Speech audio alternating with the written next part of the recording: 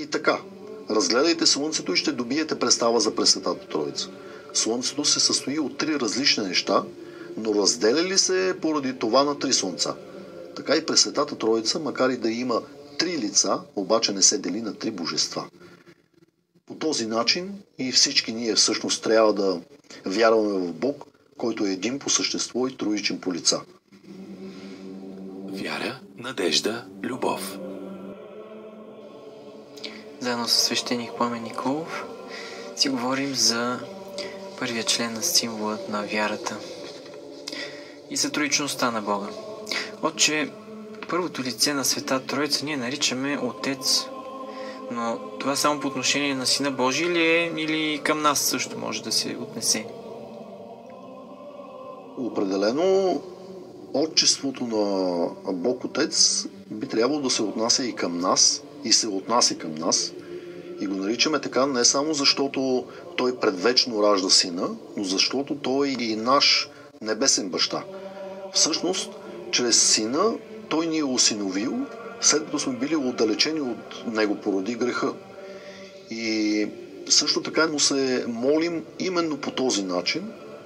Всички знаеме молитвата Отче наш, който си на небесата, да се свети Твоето име, да дойде Твоето царство, да бъде Твоята воля.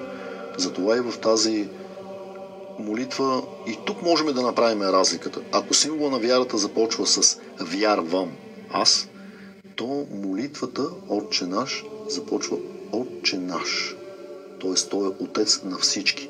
Не само на Сина Божий, нашия Господ Исус Христос, а на всички нас, дори бих казал на вярващи и на невярващи. Така ние изповядваме и любовта на Бога като бащинска любов към нас. А и така Той се отнася към нас.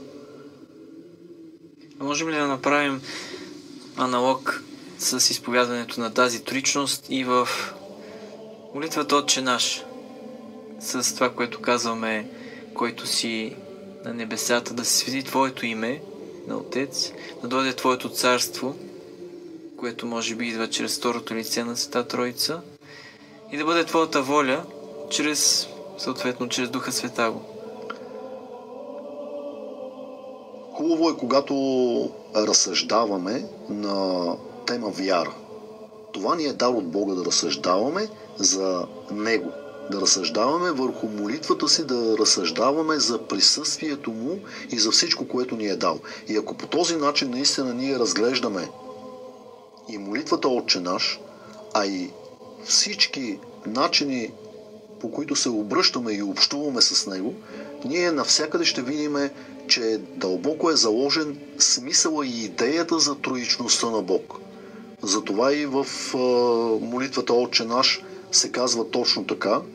И освен това и в нея се казва да бъде Твоята воля, както на небето, така и на земята.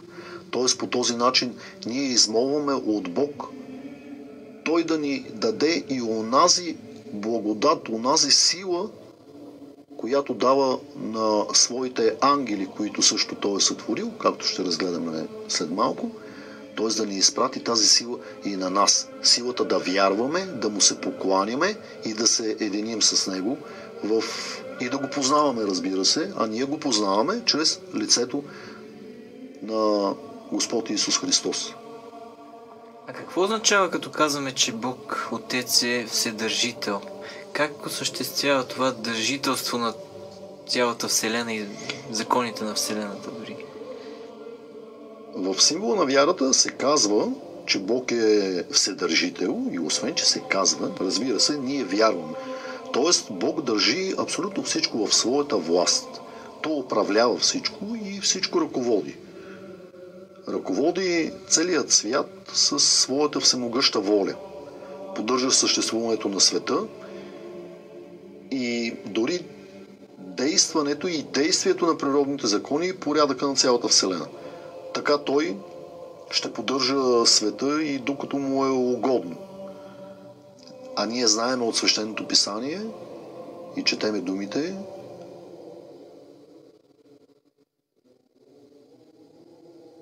ти си поставил земята на твърди основи и тя няма да се поклати навеки. и вярваме и в просъществуването на света и на Вселената, защото и от блаженствата знаеме, че ще има хора, дай Боже и ние да Бог да ни даде този дар, да наследиме земята. По този начин всъщност ние приемаме неговото, неговото вседържителство и знаеме, че без неговата света воля и без неговото премъдро допущение нищо не, се, нищо не се случва на света. Спасителя е изказал тази истина и в, а, с думите, че нито едно връбче не пада на земята без волята на нашия небесен Отец. А на друго място се обръща към своите ученици и им казва и косъм от главата ви няма да загине, без това да е допуснато от нашия Отец Небесен.